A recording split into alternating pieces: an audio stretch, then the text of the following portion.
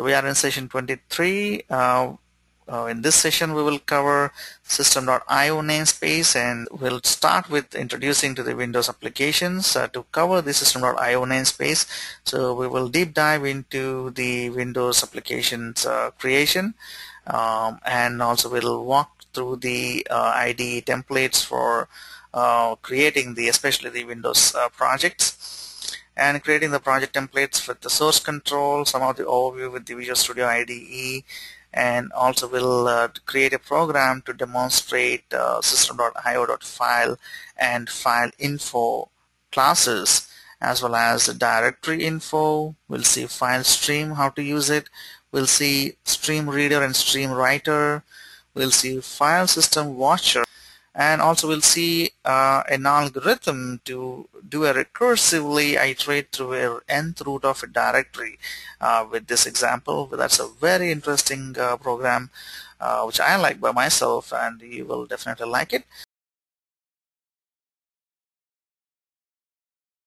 Okay so today we're going to look at the system.io namespace. Um, so today onwards we'll be actually jumping into the other type of applications which are uh, Windows based applications. Probably this is going to be more interesting going forward. So the console applications uh, uh, will be for an end with the last session. Today we will uh, uh, see the intro to the Windows based applications um, and uh, to keep it simple because uh, our major motive is to cover the language and we did cover the language in detail. So going forward we'll be in little bit fast mode. Uh, uh so I, I, may not cover you uh, cover each and every detail uh, what we have. So I, I will show you the the of course the main important things that you need to be aware of uh, before uh, writing any Windows-based applications and other things. So language-wise, uh, you will see everywhere uh, with um, any type of applications. Okay, so we'll start today um, with uh, the system.io system as IO stands for input and output. this is again a very very important namespace in the base class library that's BCL comes with the .NET framework and uh, this contains some of the uh, very very important uh, classes that I have listed in this slide. Uh, and uh, it does have a couple of more um, uh, again to a specific need. So if you want to explore all of them you can actually always welcome to go to the MSDN and check for system.io namespace and you'll, you'll see the, all the list of um, classes available within the namespace and as the name suggests IO stands for input output. That means it's pretty much uh, dealing with the um, uh, file operation so that you can uh, write and read uh, and also transmit um, in a stream of uh, byte streams and other things. So just give you a quick uh, glance at some of the important class names here number one is the file. Uh, it's a static. Uh, it, provides a couple of static methods to create a copying, deleting, moving, and opening of files, and aids in the creation of file stream objects. Uh, in other words, if you look at any file uh, in general on a file system, file is the top one. So the file you can actually create any type of uh, file using the file IO operations and uh, uh, this represents a file on the file system and also the file stream objects which we'll see down the line. Again so the file represents a file in a system. It could be any type of file. It doesn't matter it okay? And file info file info object provides the information about the file and also a couple of uh, additional properties uh, which will aid you to create the file stream again. So the, the difference between a file and file I uh, file info is that uh, file info has methods to create a file whereas uh, uh, and also the file attributes. In general if you take a look at the file in a file system and right click and say go to properties you have some of the attributes here right? These are the attributes here hidden read only created modified. All these are uh, some of the metadata associated to that given file. So if you want to uh, read the uh, meta, meta information of this file so file info is going to be very helpful. Including that, uh, it has the type of the file, uh, what is the content, uh, in other words, the extension based on the extension, and also its size its created date and uh, where it's located and so on. So that's all the metadata information of the given file can be available as part of the file info object. Um, okay, so that's uh, uh those are the predefined classes uh, in IO. And directory, similarly, it gives you the information about the directory uh, and using that you can actually load the content of a directory, which means another collection of files or collection of directories.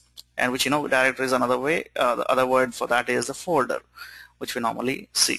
And similarly, directory info will give you the information of the directory uh, with respect to the location and the contents of the summarized information like how many files it has and all that kind of information you can provide. And also it provides provides some of the instance methods. And if you take it, take a careful look at uh, the uh, the static methods versus the non-static. So again, so those are the language specific keywords that we already know what the static method means and what is an instance method. So file uh, as a class has some of the static methods which aid in creating a files uh, deleting files or manipulating files in other words.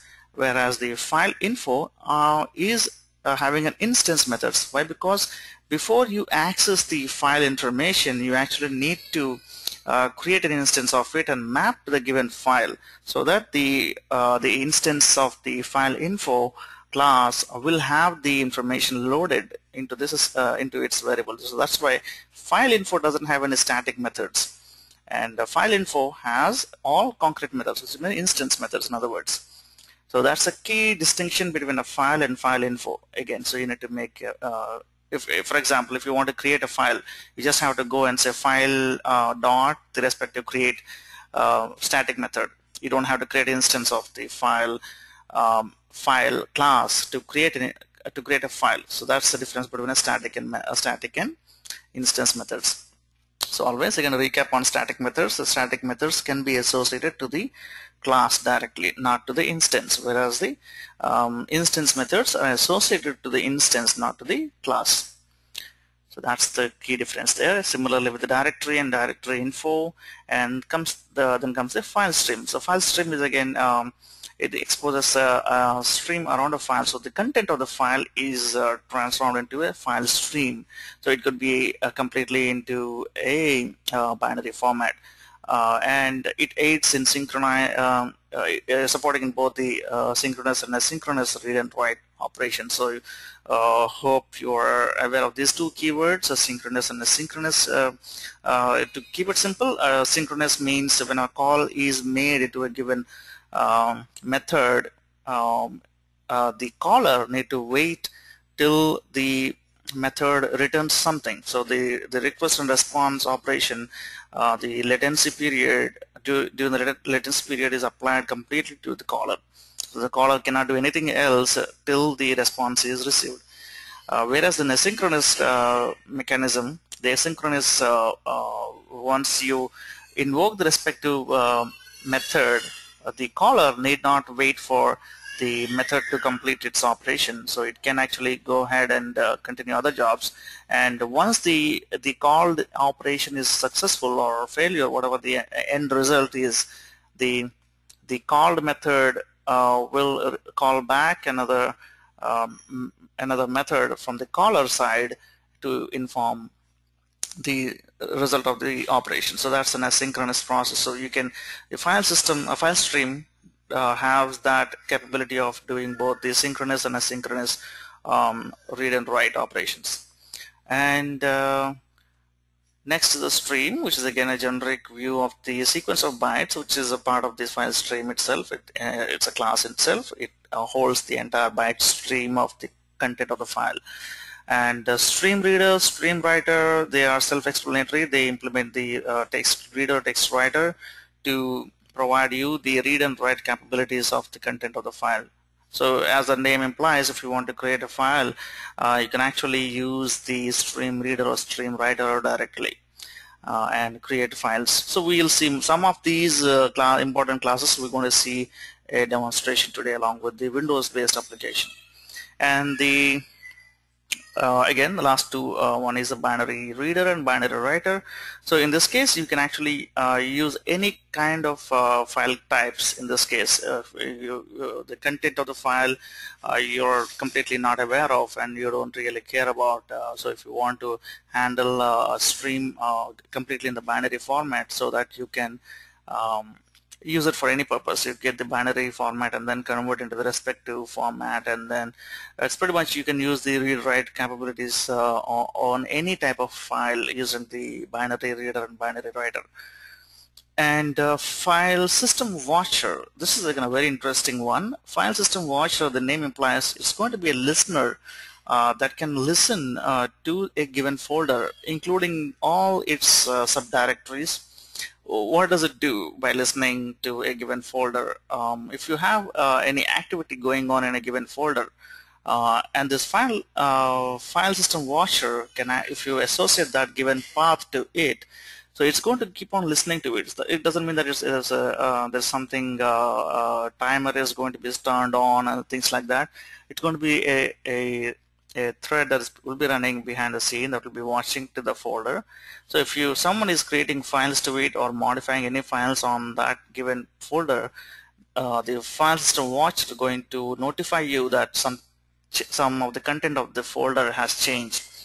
Uh, so this is a very very useful one uh, and uh, even in .NET, uh, .NET this mechanism uh, is is used in especially in, um, in file based caching uh, for example, uh, if you have any flat file on a system uh, that you rely on, for example, some information is loaded into the cache when the application is started and someone want to, for example, a good example would be the configuration files. For example, if you have any uh, configuration file which has some configuration information, and uh, of course the config file uh, will be loaded when the application starts, uh, into the memory. Um, so once it is loaded into the memory, thereafter the application is going to read through the memory so that the file IO operation is completely gone. Um, and the uh, read and write from the memory is going to be much faster than the file. So to get that uh, gain that advantage it's going to be cached. So uh, if someone changes the file content then what will happen? So if the runtime uh, the application is running and someone wants to change something to uh, to reflect the changes into the application so uh, you what ideally you need to do is you have to close the application and then restart the application so that it loads the latest file. So in this case, if you have a file system watcher on that particular folder or file, then uh, what happens is if soon after someone modifies any content, uh, the application can get notified that the file, this particular file has modified so that you can refresh the cache with the content of the new file. So how uh, that's going to be very, very useful uh, so that you don't have to uh, kill the application and reload the file uh, at runtime. So you, you, can continue using the application just changing the value. So we'll see a demo of that and uh, also some of the very important things here along with the so I'm going to reduce the amount of slides so that's the only slide I have for today so nothing else so although I have this uh, project created uh, and of course uh, going to run, um, but I want to to take you to the route of creating a brand new solution and uh, walk you through that. So the so that uh, it helps you to follow step-by-step -step process. So right now I'm going to close the solution. What I'm going to do is um, I'm going to create a new project okay we'll start from the new project. In this exercise we're going to pretty much create a, a, a very good rich application. And uh, notice how much time it's going to take to create a, a rich application. Uh, for example if you see a notepad this is a Windows based application right? Uh, if you take a careful careful look at this Windows based application it's pretty simple lightweight tool.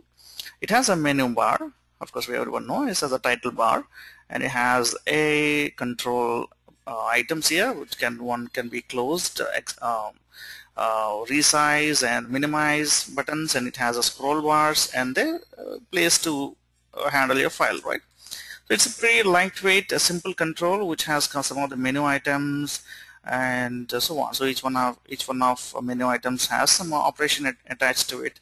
And all of this we're going to do uh, in fact as a matter of fact it's going to be list little richer than the notepad. And we will try to do something like a notepad okay? And uh, carefully note see how much time uh, will it take to create a notepad kind of application okay? So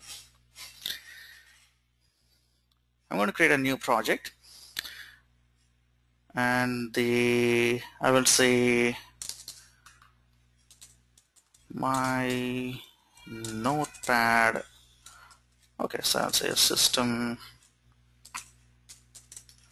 Io dot. My notepad. Okay so I'm just trying to trying to create a new project. So create uh, we're going to check the create directory for solution so that it's going to create another directory within this root path. So hope you're familiar with this uh, uh, dialog for new project and uh, if it, if not uh, then I'll try to give you a, a fairly good look at this uh, um, this new project window. So if you see on the left hand side uh, we have the Visual Studio uh, Visual C Sharp as the primary language it targeted to because uh, once you first install the Visual Studio 2010 and start for the first time it's going to prompt you to pick the respective language uh, which you want to set as a default language. So the language, whatever you pick at that stage, will become your default language, and it uh, and Visual Studio, whenever you say new new project, it's going to go back directly to the respective um,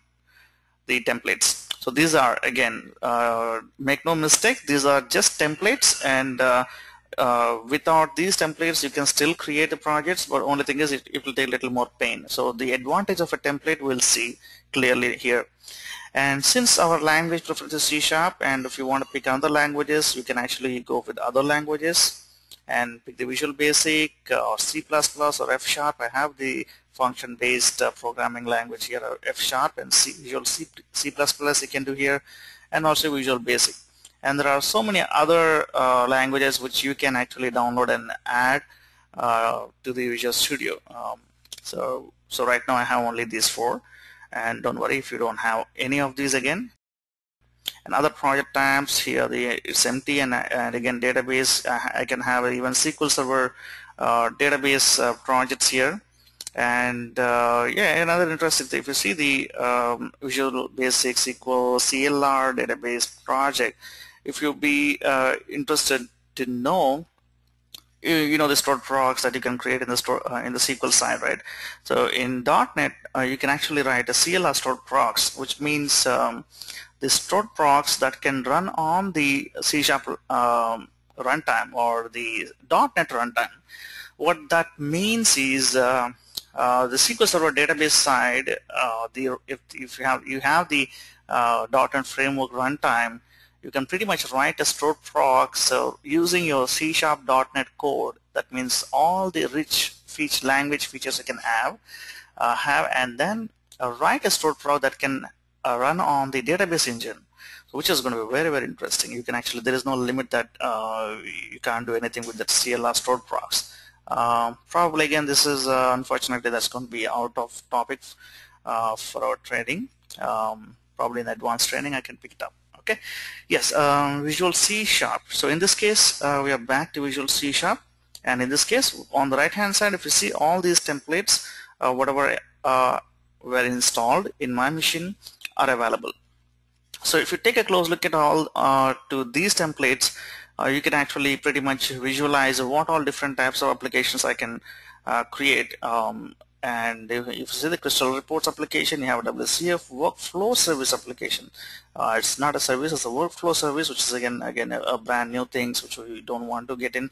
And and also don't get lost by looking at so many things. Usually it happens um, that okay what is this? And uh, I'll try to create a project like this and then uh, try to deviate. So each one of these applications are a topic of a big uh, of its own. So uh, WPF itself is a completely a different um, methodology or it's a different kind of application and uh, the way you write or the code you write is again completely different but still of course language wise uh, they are similar but um, uh, the simple example is if you take a, a web-based application it's going to be completely ASPX uh, uh, pages that you're going to create on that and the ASPX designer um, uh, syntax or tags that you're going to use are completely different versus the WPF based applications. Uh, with WPF again they use XAML.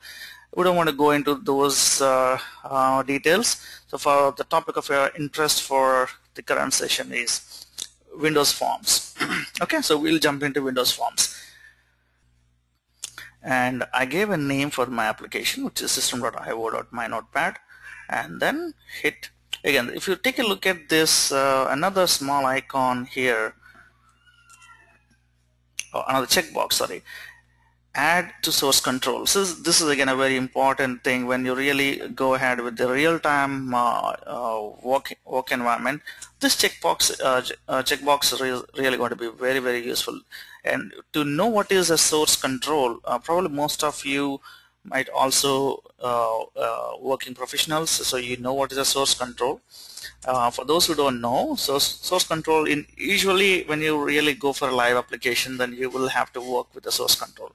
What it means is the uh, the solution that you're going to write or the code files that you're going to work on uh, usually in in this practice all of those files are in my local machine right? So uh, everything sits in my local machine so they are not available anywhere else so in a real-time development scenario, it's not going to be that way because uh, you'll have a team members uh, working with the same project.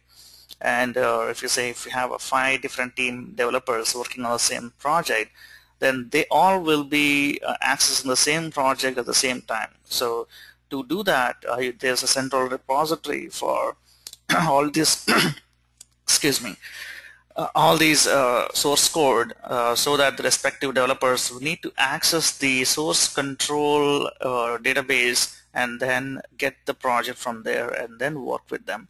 So again, to show you that uh, kind of uh, in um, Visual Studio source safe um, source control mechanism, I don't have the source control here set up, although I can do it, but it's going to take time. But so uh, so I can't show you how it's going to look like. It's going to look like pretty same.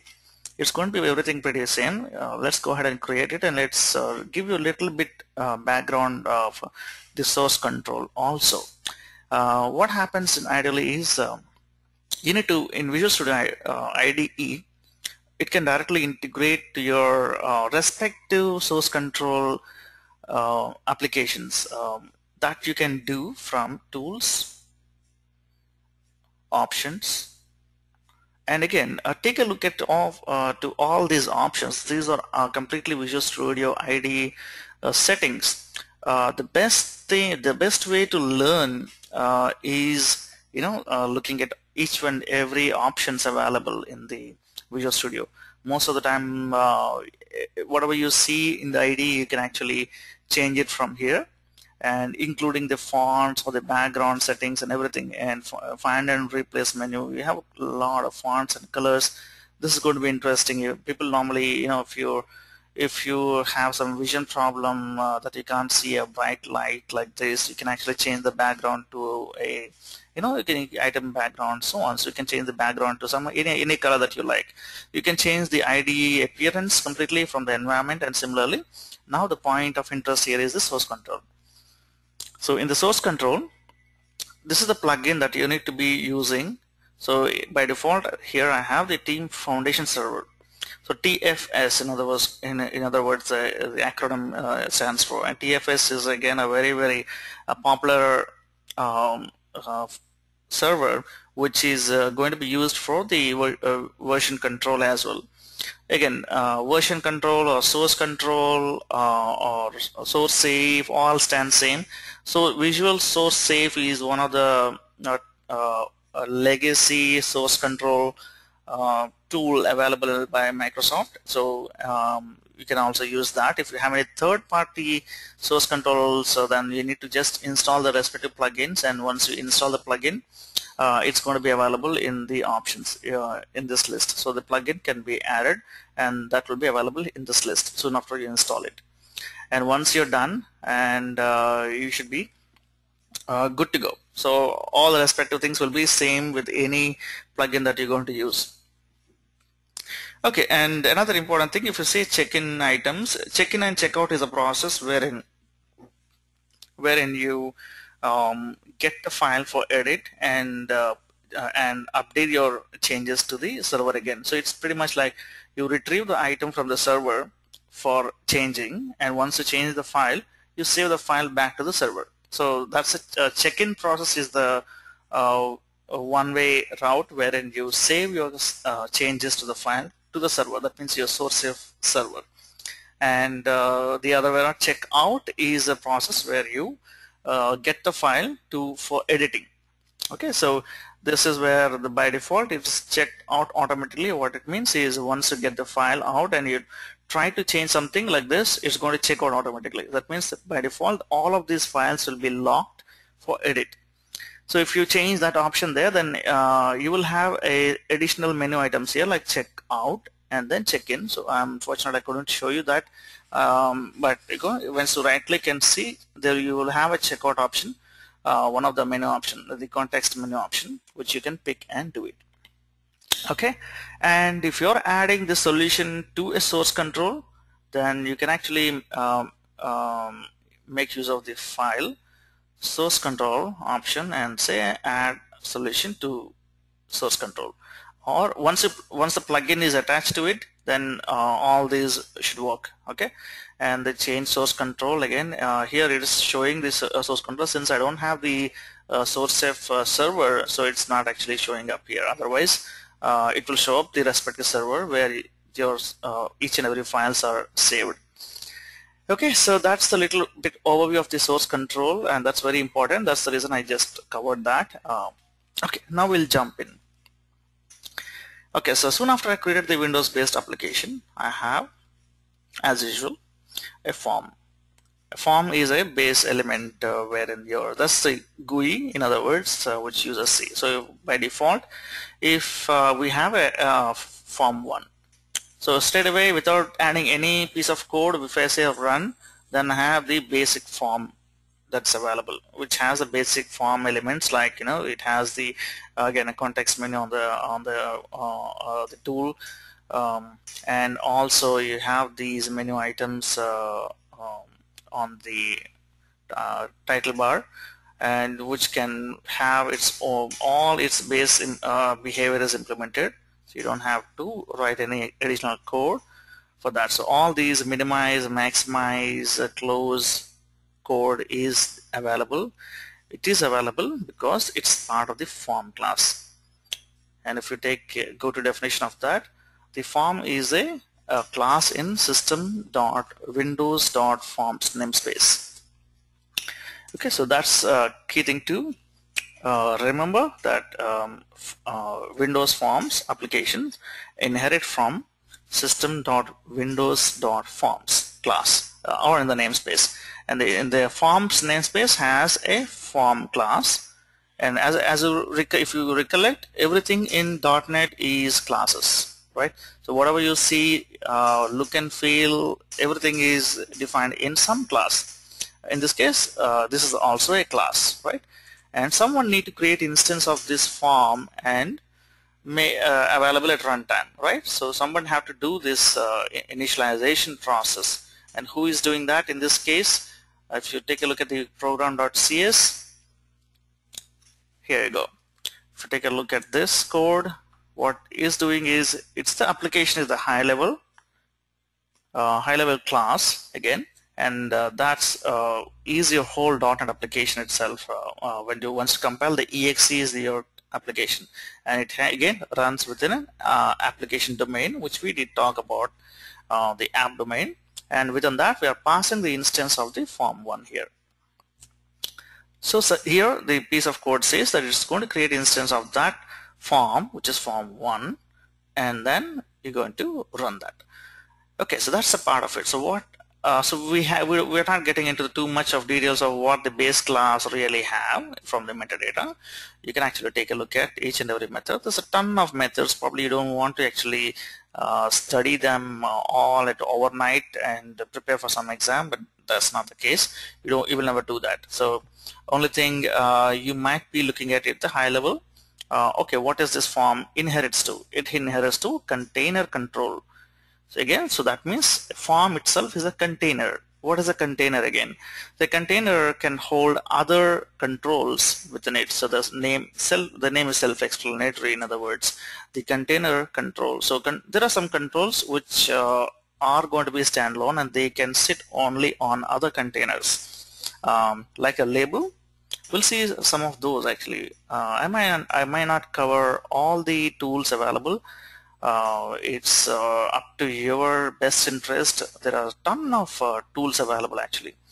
Uh, on the left hand side in the toolbox and again this toolbox will be visible only when you uh, when the designer mode is open. That means when you see this form as a designer mode. If you go to the source mode the toolbox will be gone.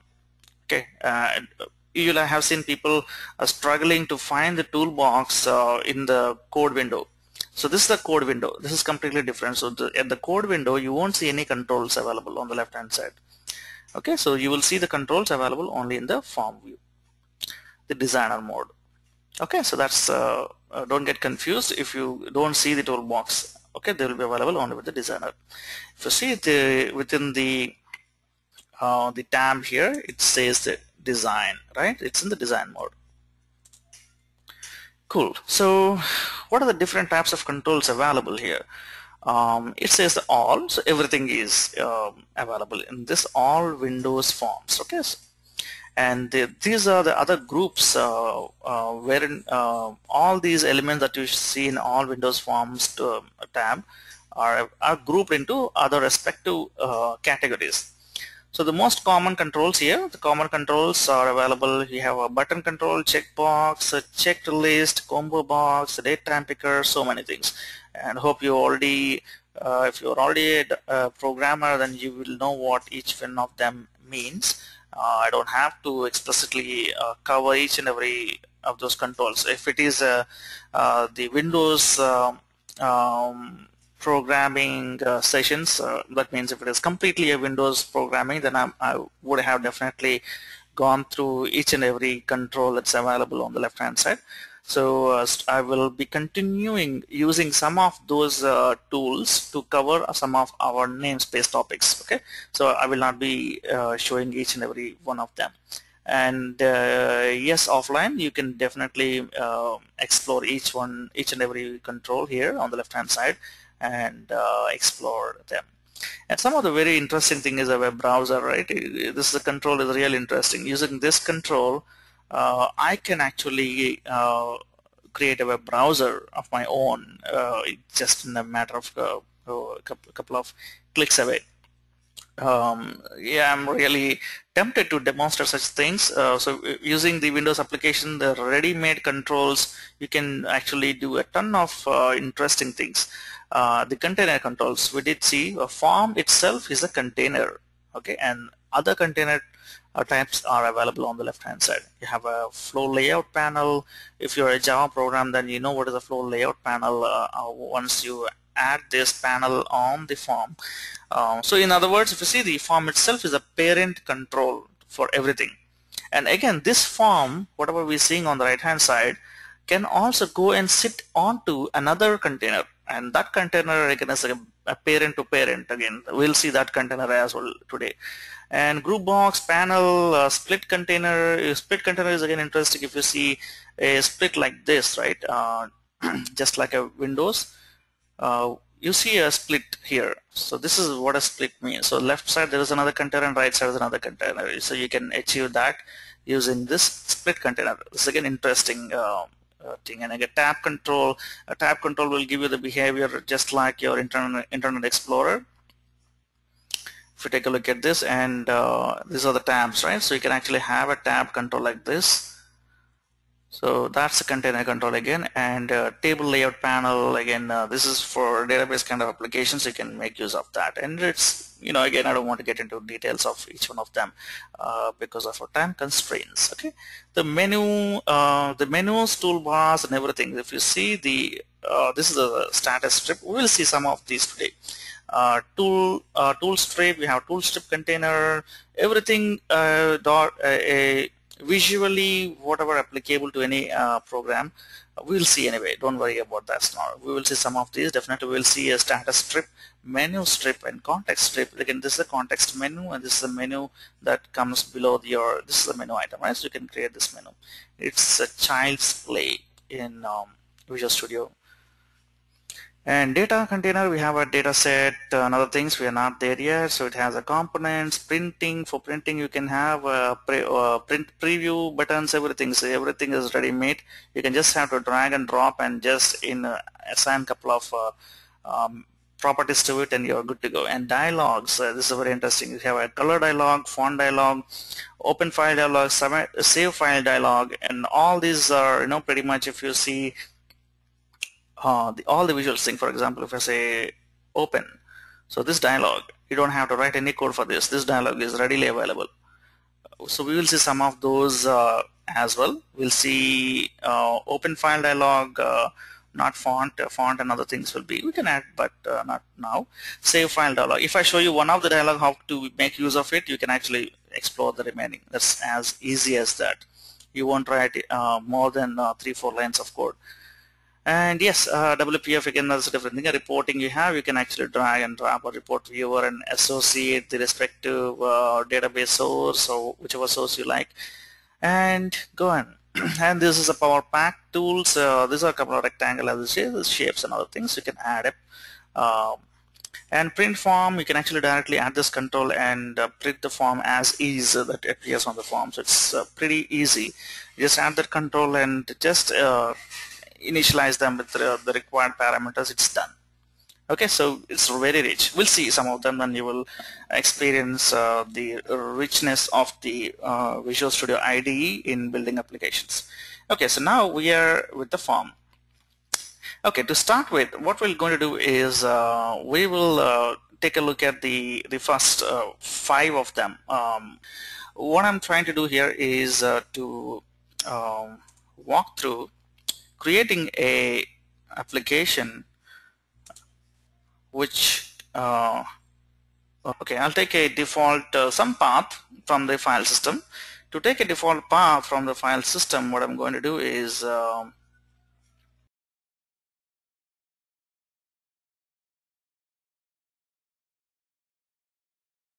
do that, I'm going to take a text box. Again, there's a rich text box. If you want to make use of a rich editing, that's available. You can actually uh, make use of the rich text box as well. So now, uh, this is the text box control. I just drag and drop. If you take a look at this small uh, tool tip again here available, it's ready made uh, readily uh, for fast access of the key properties.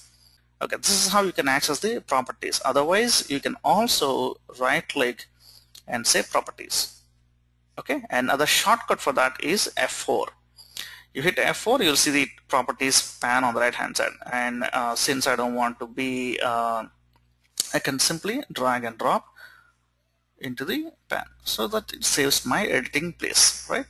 And okay. So I have this and what are the other properties that I'm interested in? So what I'm interested in is the name of the control here the name of the control I want to change it to say txt uh, directory D-O-R-Y directory mm, name. Okay so this is going to hold the directory name that I'm interested in. So uh, probably it's going to be pretty long so I'm going to keep it pretty long here. Okay and then what else what else I want to do? Um, I wanted to go for uh, again if you're very interested then you can actually go and check so many uh, so many other options available here. And a key thing you, you might be interested to know is the the alphabetical sorting here. And also category categorically you can group based on uh, here. And uh, if you if you take a look at this icon you should be familiar with this icon. This is events window. Uh, in this events pan you can see all the different events that are available on this text box control. And uh, uh, take a look at this one. So this is what indicates the what are the properties listed below are associated to the respective control. And it also gives you the uh, namespace under which this control is inherited to. This is actually it's uh, this is a class text box is a parent class from where this txt directory name is inheriting from. And this text box is available in forms namespace. System.windows.forms namespace. So you will see the the namespace concept everywhere okay? You can never uh, ignore it. Um, okay so we added the uh, text box here. And interestingly if you want to format this uh, to a very rich look you can actually do that. You can you can actually change its style completely if you take it to the properties pan and uh, so the appearance you can actually change the uh, background color here and the style. Right now it is 3d I'm going to make it single so it's going to be a little flat. Cursor have font fore color I can change all these uh, at design time. At the same time all these properties are accessible even at the runtime. So you can actually change it change them uh, at runtime. And most commonly used one is this. This is text right? So when, if I say test okay. So that's what the value means. So text is a, a very fundamental uh, property. This is available for almost all the controls all the all the input controls. And uh, so whatever in .NET take a multi-line text box uh, take a uh, drop down items or any any other control they all have uh, the property called text. So using which you can read including the form title. If you want to change the form title you actually will access the uh, make use of the uh, text property. For in this case now I shifted my uh, selection to the form 1 so I want to change the form properties. In this case if you see the text form 1 form 1 is what the text assigned um, by default and that's what you see here.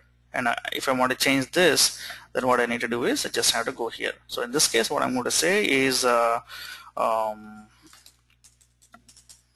directory info. Okay this is what my exercise title is. And of course this is the appearance on the UI so but again the form name itself is still not uh, changed and that's again uh, part of the name so name is different from text so the name of this control is going to be again form 1. What is this name represents? This name represents the your source file and the class name.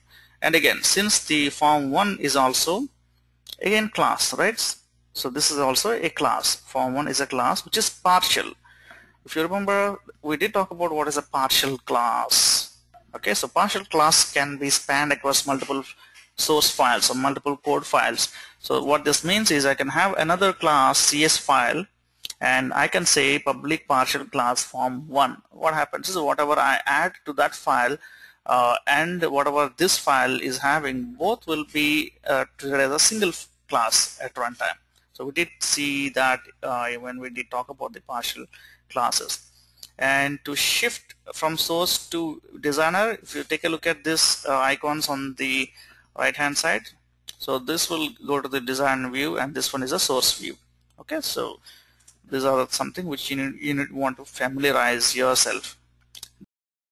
That's how you can actually explore the properties of the respective control and then change it. I'm just making you familiar with the uh, Visual Studio IDE because this is the first uh, time we are introducing to the uh, Windows based programming. If you already have make your hands wet um, by exploring all these uh, windows uh, so that this will be uh, useful for you to build a rapid applications. Ends okay. Now we'll move on. Okay? And uh, we change the form and also I don't want to have this um, uh, default uh, value for text. Okay? Done. Now I want to have some uh, uh, uh, visual appearing some text so that people know what is this right? So I want to say that this is a directory. Let's say root directory. Okay so root directory is added up now. That's a simple label. It doesn't have uh, uh, uh, anything more than that. You can have of course events on top of labels but again we are not interested in going that level now. Okay so next immediate thing I want to add a, what I'm trying to do here is I'm going to uh, use this part to um, to locate a folder in my um, system. Okay to do that what happens is I'm going to actually sorry if I double click it's always take you to the default event handler. In this case I don't want to go there yet uh, so I want to change the name of this uh, button. Again if you see the text is a property for that. And uh, what I want to do is if you look at a normal scenario to browse you can say uh, B-R-O-W-S-C this or another shortcut here is uh, three dots three dots. This is a simple um, uh, three dots can always simplify that okay you want to hit that to browse to a folder and the button BTN I just giving the uh, the, uh, the, the naming conventions uh, Hungarian notations although this is not uh, uh, it's pretty obsolete in um, .NET programming to use the Hungarian notations but I'm little used to that. I'm making uh, right like that but don't worry you can actually simply name it something else. Um, you may not use a three-digit prefix before the name okay? I'm just using BTN for button say browse okay so browse I want to add some action to this right? So what I want here is I'm going to save this now. And upon clicking of this icon what should happen is it should open the dialog to locate a file in my file system okay? And now how can I do that? I can do that by by using the folder browser dialog okay folder browser dialog. Again as you know this is a class available and I need to create an instance of it. What I need to do is create a variable for that. Folder browser dialog is equal to new folder browser dialog. And this is how I create instance of it right? And now fbd uh, dot I will set the root folder so that it uh, starts with my some system defined uh, folder. If you if you see the IntelliSense is smart enough you know it's really helping you uh, by picking the right one. Say if I say root folder is equal to and space it says it's taking a enum. If you see uh, this property is actually taking a enum called environment special folders. Again so special folders I'm going to pick the special folders.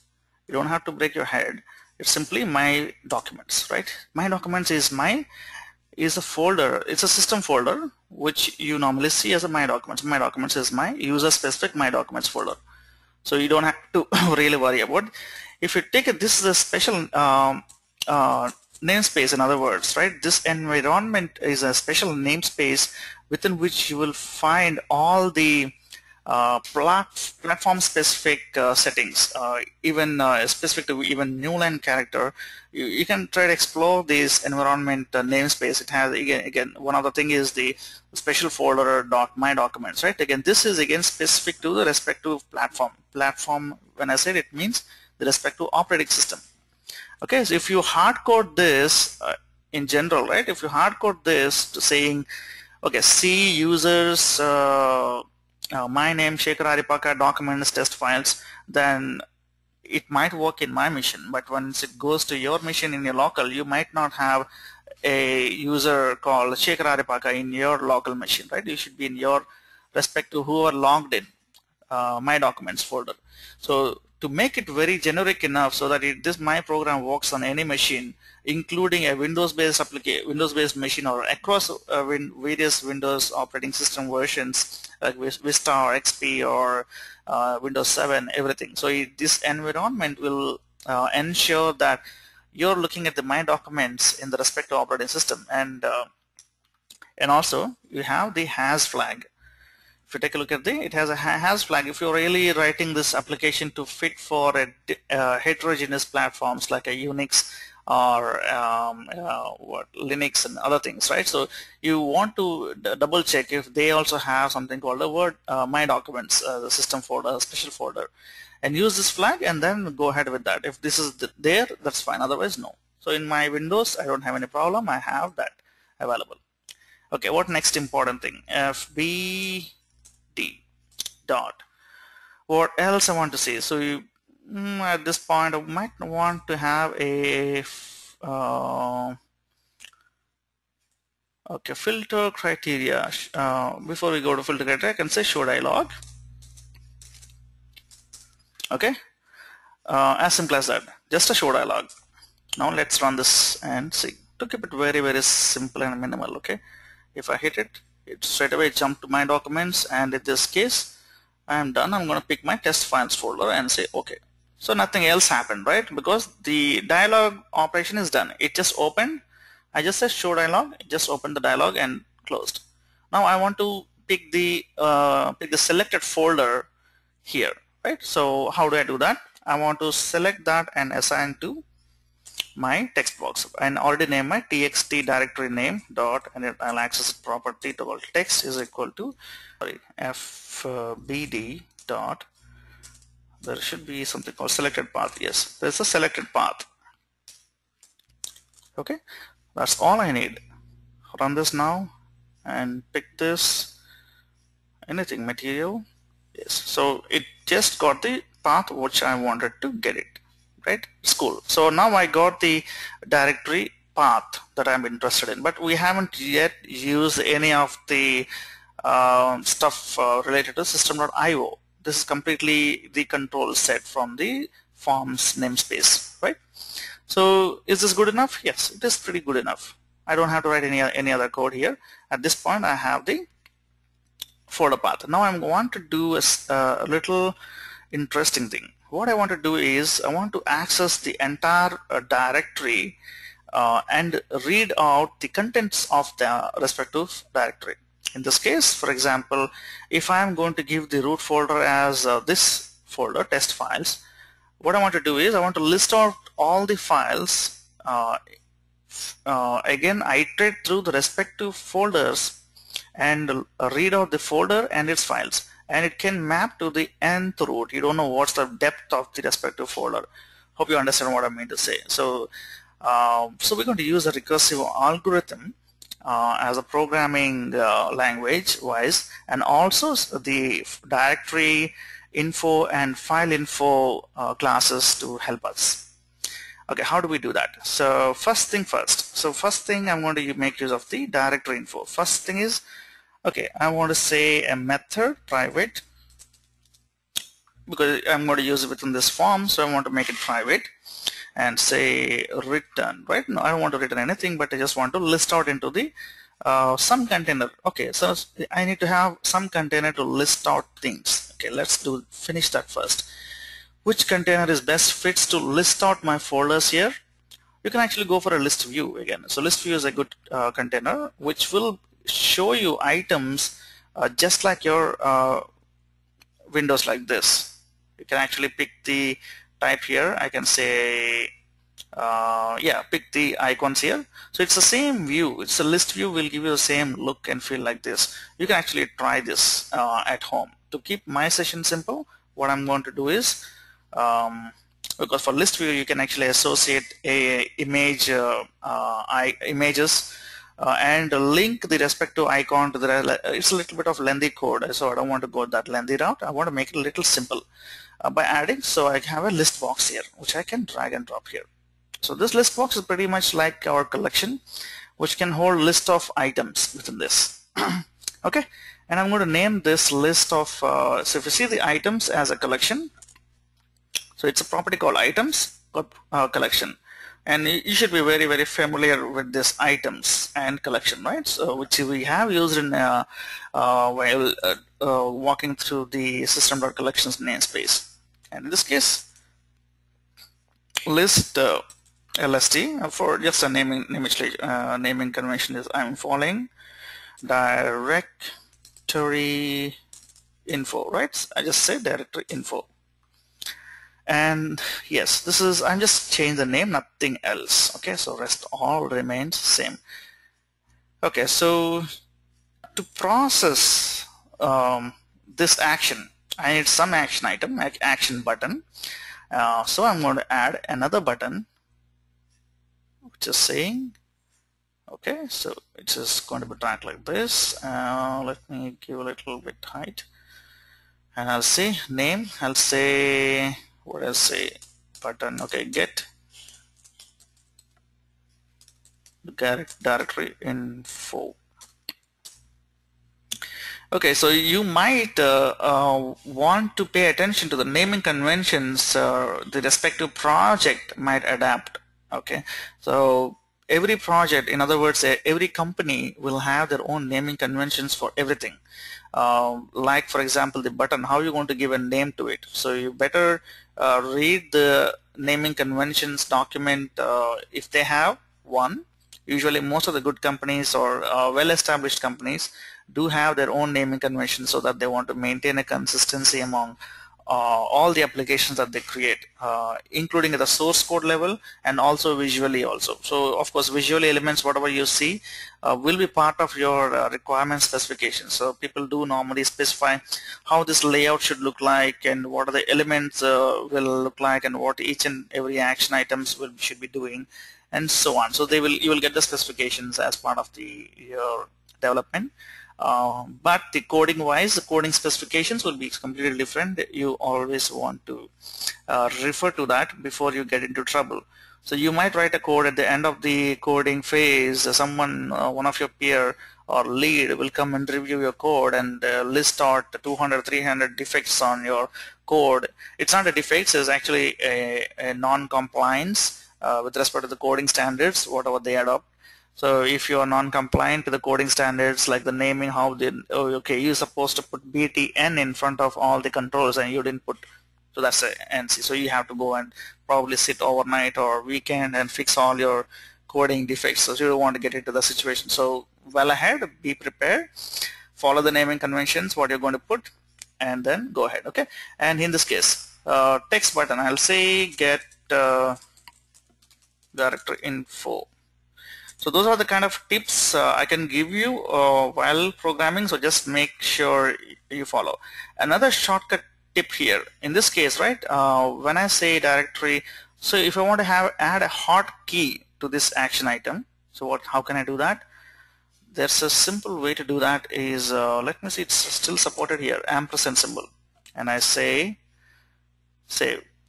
So I in this case what I mean to say here is if you see the uh, while adding the ampersand to D what happened here is it made D as my hotkey uh, so this can be uh, invoked by alt plus the respective letter alt T on this form. Okay? So that's what it means. So we'll see that. Okay? Since I already had a, a hotkey here uh, once I add the text I don't have to go and click the button. I straight away if I say alt and D. Uh, it should run. Okay? Okay now I have to get uh, directory info. What this means is once I hit this button after picking the uh, directory info I should list out the contents of that folder here. Okay? So we'll do that code here. So before we do that uh, we will be writing a. So this is the event handler for that button click right so we know what is event handler and if you take a code behind you see delegates right? If you recollect we did have a delegates behind the events. Okay now uh, we're going to say uh, private. I don't want to make this public at, at this point. Get directory. Get directory info. And what this is going to take this is going to take a string of a directory right uh, the root directory in other words uh, this should be string. String root directory right? And this is going to be my code block. And of course I forgot to give a void because this is not going to return anything right? My compiler is not cribbing now. So now what I'm going to do so what I, immediate step I should do is I need to transform this root directory into my system.root, right? Uh, system.io dot. Do I have that namespace included here? No. Using system.io that's the namespace I'm interested in. Anyway there are many other namespaces that you are not using at this point actually. So you can actually clean them up. By default uh, since it's a Windows based application it the template itself is going to is comes with these default uh, namespaces which you can make use. Otherwise uh, you are welcome to clean them up okay at the end of it. And that could be one of your code checkpoints people do normally recommend at the development stage. Here directory info is a class and di I'm going to say is equal to new directory info. If you see directory info is an instance method, right? It's not a uh, static uh, class. Of course, it doesn't have any static members that I can make use of it. And if you take the, uh, it has only one constructor. If you see, it has only one constructor which takes string as path. So I have the string here, which is called root directory info. Okay, so that's uh, I created the instance of my direct info. What this will have is it will going to get all the information uh, necessary or the methods available uh, to, uh, to access this directory. So what all I'm interested in? I'm interested in getting the uh, I'm first of all I'm interested in knowing if this has any uh, files right? So I need to get list all the files within it how do I do that? I can use for each for each open brackets and close brackets. Okay hope you're able to see that. And I'll say file info. I'm going to make use of file info for each file info fi um, in di dot get files so get files will get you the uh, all the files within the file info. I don't know why this is scribbling Let's see. Yep, now it's good. So hope you know the shortcut to do that. Uh, whenever you're writing it, uh, it's a simple control uh, spacebar. It will give you the list of things and uh, and yeah, control space bar If you do, in a, it's going to give you that uh, list. Okay. the IntelliSense uh, can fill the remaining. Uh, in case if there if it finds multiple other classes uh, for the given keyword then it's going to list. Otherwise it's going to fill the available one. Got it? That's a shortcut key uh, when you're coding. Controls uh, space bar again okay so now what I'm doing here is uh, get files is going is a file if you take a look at this closely so it's a file info array. Okay so you know what is square brackets right in uh, C sharp. So what's it, what is doing it's get info is actually going to return file info array and that's when I'm actually doing a for each on that array. And uh, file info is the object or that I'm looking out inside the info uh, get info and of course uh, this type itself specifies that is a type of array of file info so I will able to see the file info information inside that. So fi at a given point will represent the one file, right? So all I need here is uh, if say list of directory info dot items, right? Items, items, what is items? Items is a collection. If you see, this is an object collection. And object collection has a add remove other other members which we have seen uh, in the system collections. So these are the some of the base uh, uh, classes that they are inheriting from. That's how you get this uh, add. So I'm going to add this uh, respective member. And add with some formatting because I just want to give along with the file name I want to show something else. For that I will just use the same old technique string dot format and within this I am going to put uh, the first placeholder for file name separated by another one with something. Let's see what else I think I can put there. I'm just having a three placeholder and the first one is file info dot name. Does it have name? Yes. And uh, file info dot what else I can look up here uh, extension I can yes extension is fine.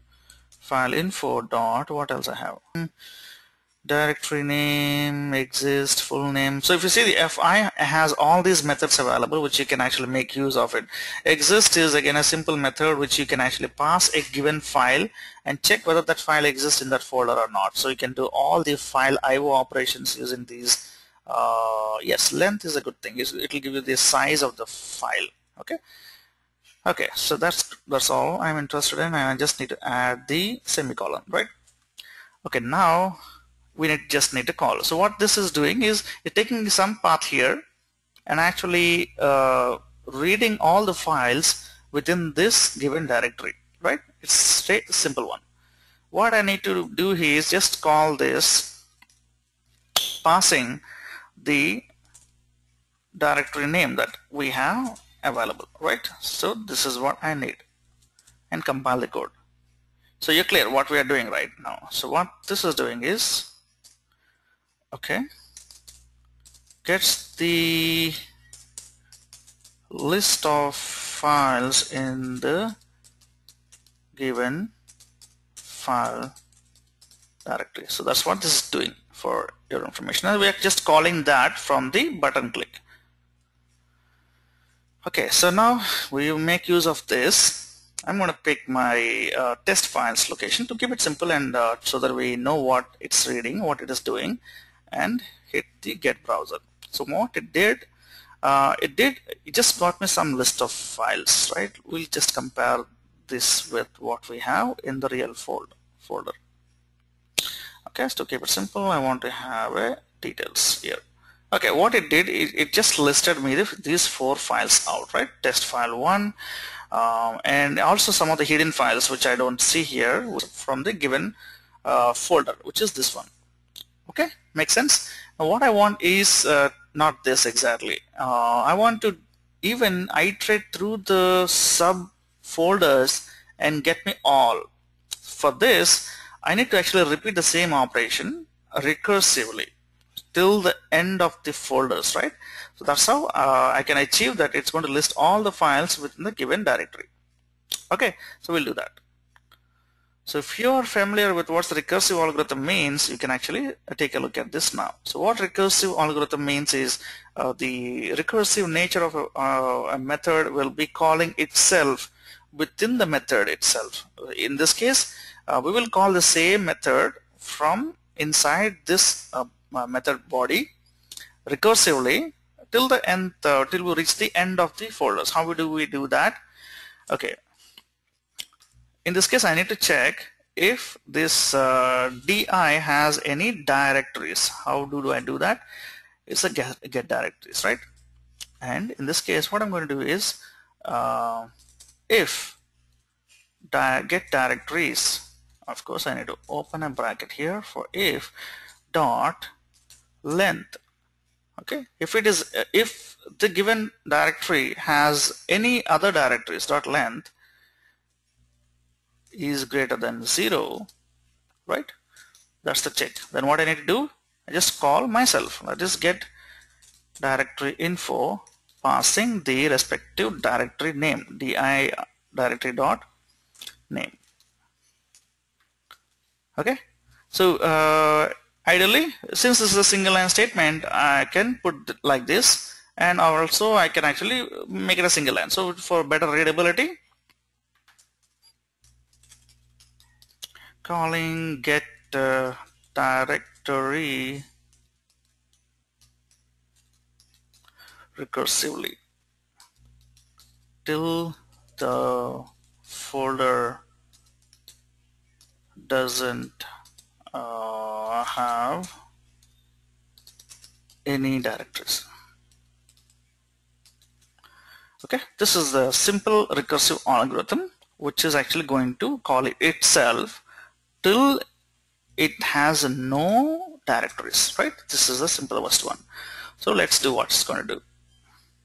Let's see what it's going to do in other words okay? Part of my language there you go it broken. What it's saying could not find part of the path notepad uh, test files. Test finds part of okay so because I just uh, passed in di uh, dot name. So it because the just passed the name of the directory. What is the best fit here? Let us see what is the best fit to pass does it have anything called full name? Yep there is a full name. So this will give you the full name of the path. So what I should be doing is pass the full name of the directory instead of passing just the name of the directory right? This is what I need. Okay so again I'll pick my test finds and say get okay let us make use of the hot key here. Let me press the alt key. If you notice the D got highlighted okay? Uh, and I am pressing alt D now without clicking. There you go. It did actually work and again uh, it error out. An unhandled exception stack overflow exception occurred in mscorlib and uh, why let's see the details what it says. Cannot evaluate the expression because the current thread is stack overflow. So it looks like it is going uh, recursively till the end of uh, so to debug. This is where we need to start. Let us see where the things are going wrong. Okay. Now I said enter. So now where are we we are in test files and I'm getting into the next level. And it is calling itself so it again came back. Okay so what I'm doing is actually I'm passing the wrong thing right? See I am actually passing the DI directly to itself right? So what it's doing is the directory path is actually referring to itself every time. What I need to do is if it is having a subdirectories and I need to actually iterate through those directories and pass it that's what my problem is. That's why the stack got overflowed because I'm actually passing infinitely it's never going to end. So see we are discovering errors and we're going to fix them. And we need to actually do again for each. Now I'll say directory info di uh, since I already have a di info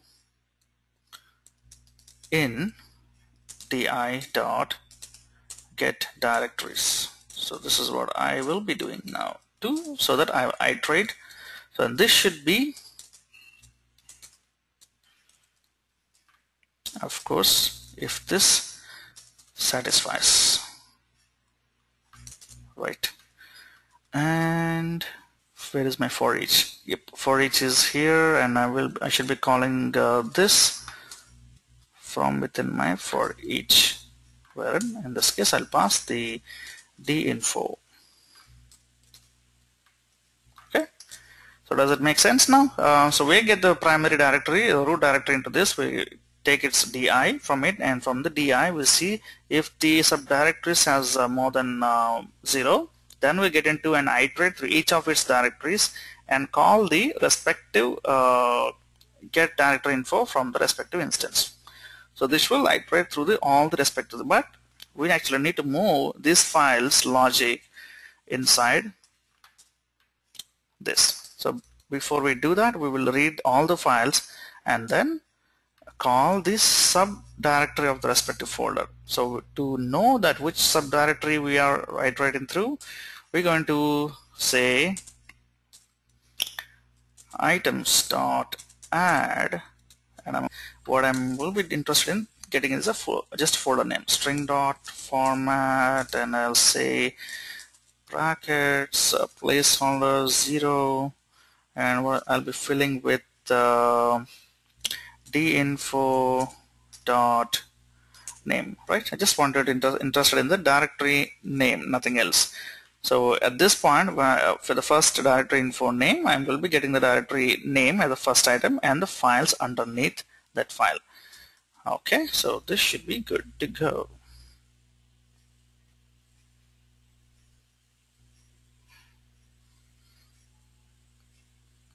There you go. So we have this folder 1 and it has some of the files and also folder 11 and folder 2 and the respective files within that. And I um, and okay. So we just want to differentiate between these folders. So we will do some little formatting like uh, adding a tab you know adding a tab is uh, just uh, backslash uh, T. This is the this will add the tab right? We did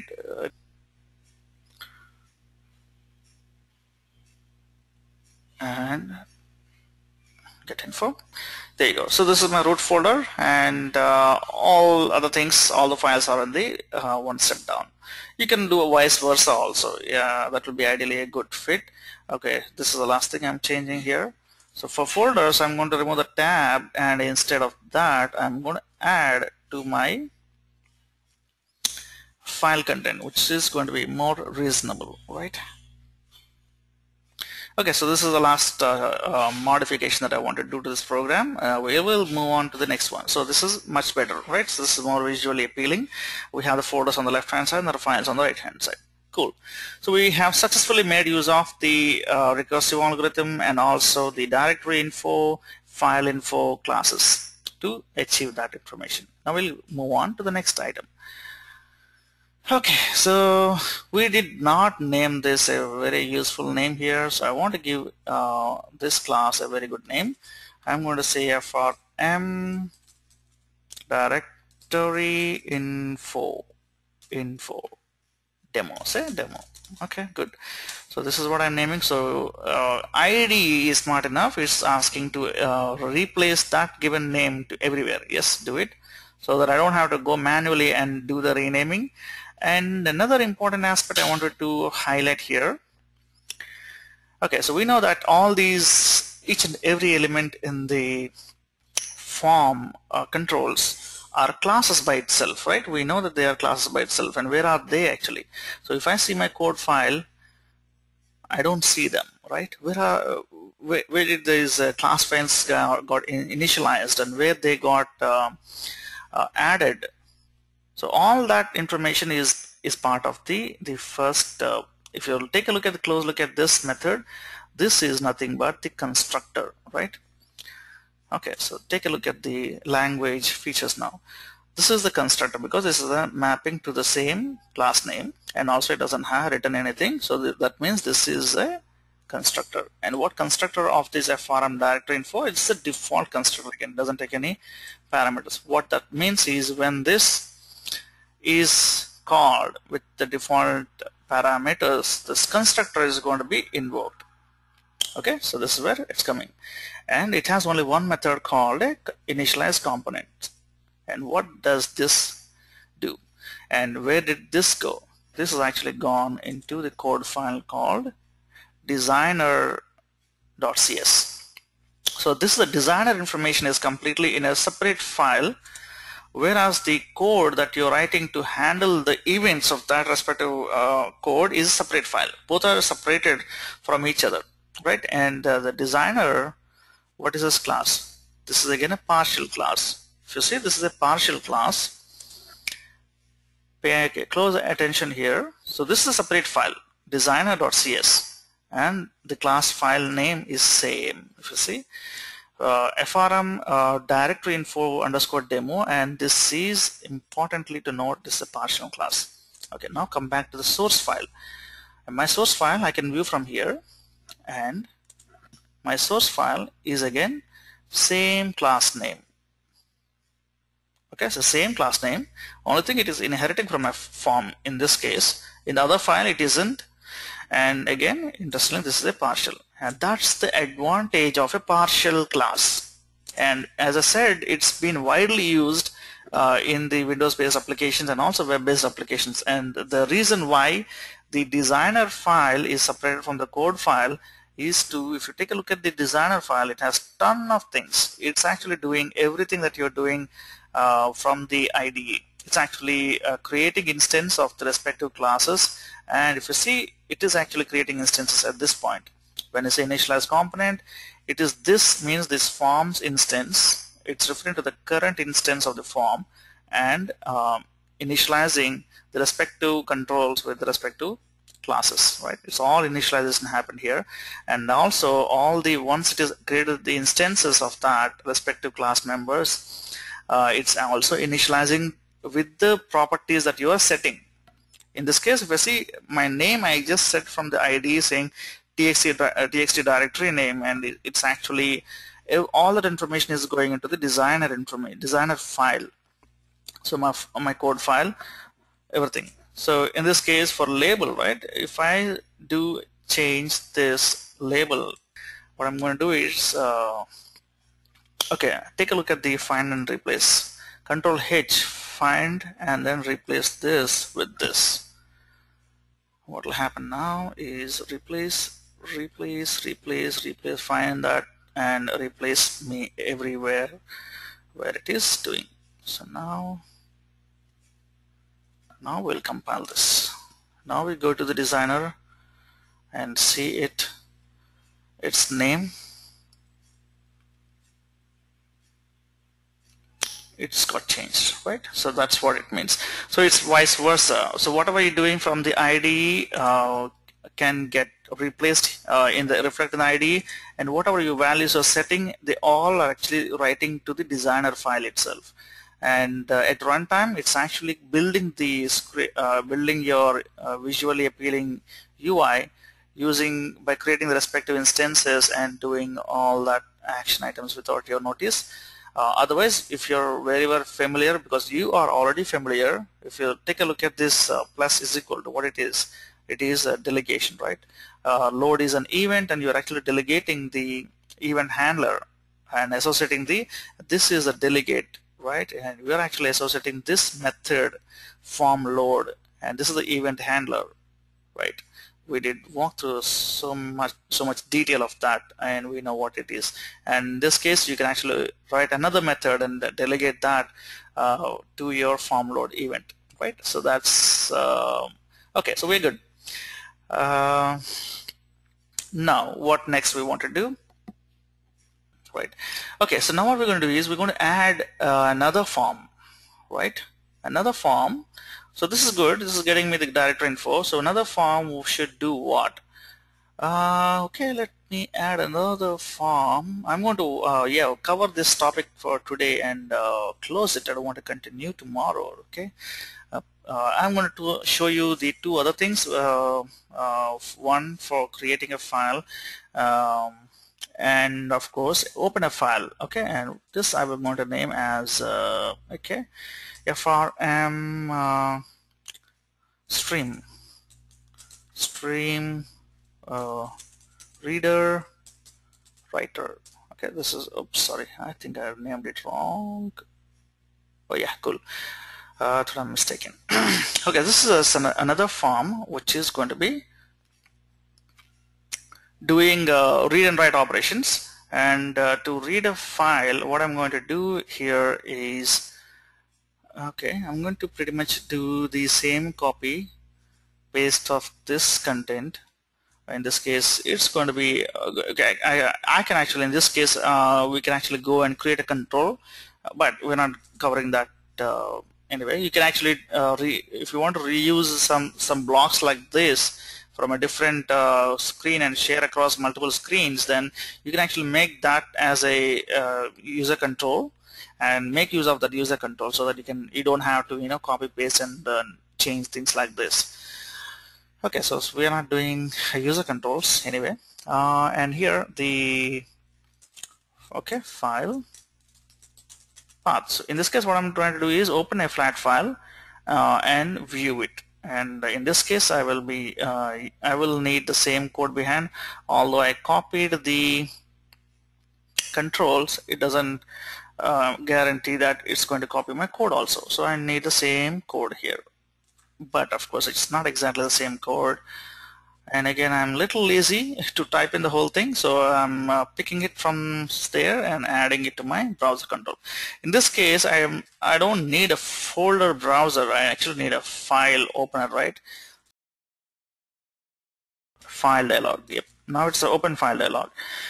You know this is how one way is this. If you know the class names you can actually create instance of this and uh, take care of them. This is one way.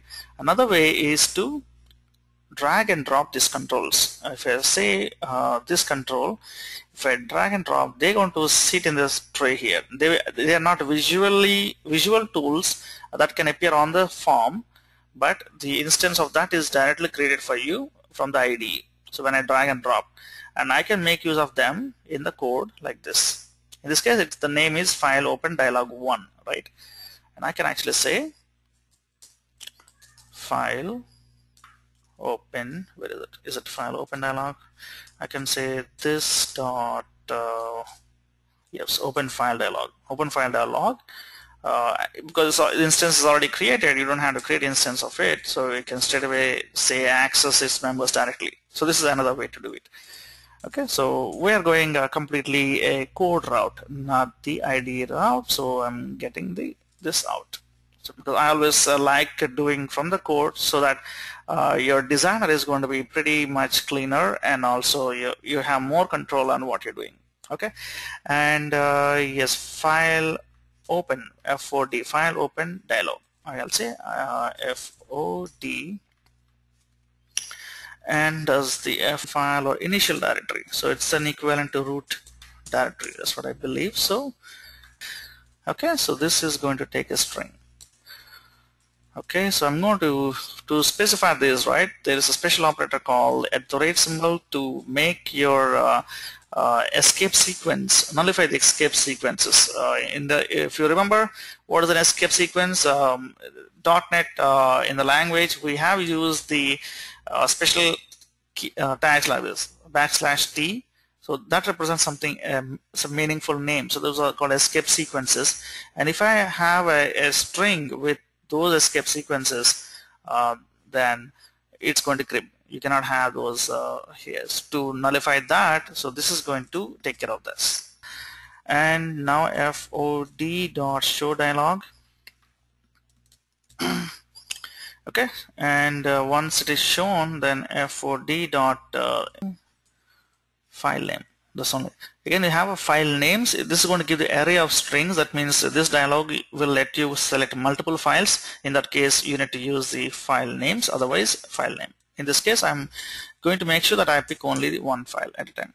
So this is the file name that I'm going to oh okay. So this is again a wrong uh, name we have since we copied from the other one. So I can actually name it as uh, appropriate name. I'll save txt file.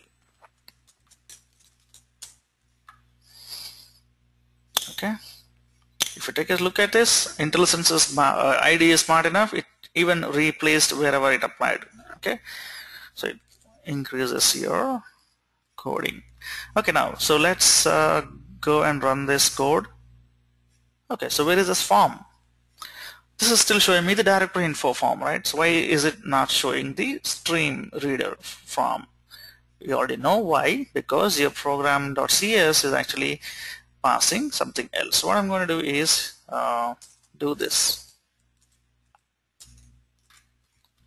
I can do this right but is it the right way to do it? No right definitely not. This is a Windows based application. You want some menus on top of it.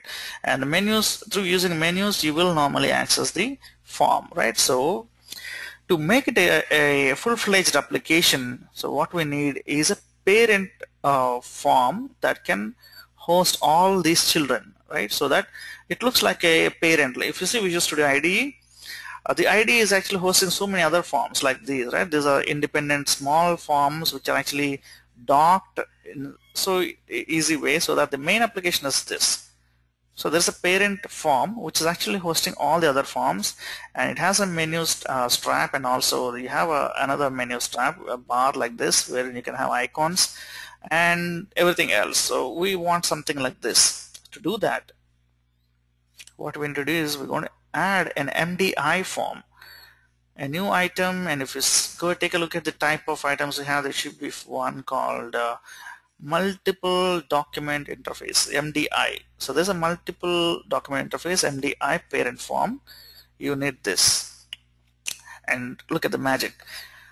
The template itself added so many other things like menu is available directly and the even the tool tab is available and you have the strap bar and also tooltip menu strip uh, uh, again tool strip. There are so many other controls which are added by itself. If you see the uh, menu strip it's highlighting the menu strip. So that's a, another control that you want to add right? And tooltips tooltips you can add a collection of tooltips and associate the each of the control to the given tooltip so that whenever you want you put your mouse cursor there you have a tooltip popped up on the right hand side. So that's the tool uh, tooltip. And the status bar sta status strip is at the bottom. So if, if you want to see what status happening the same way if you open the notepad you might see the file that is opened and also if it is saved successfully some messages you can show it at this point. So this is my full-fledged application window right? And for this I want to name uh, give a proper name. Of course I'll say uh, system.io demo right. Uh, from some good name. So I can you in real time you can also change the icons um, using the same property set. And icons uh, where is that icon? Appearance wise you can actually pick the icons. And icon is available at the project level as well as at the form level. You can actually pick any icon file here and associate to it and it should be good. And of course you can actually pick an icon from anywhere in your file system.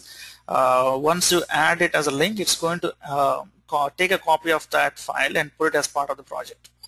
So you don't have to really worry about the path where it's going to be. Ideally such situations you can handle by using the resource files. Did I talk about the resource files anytime?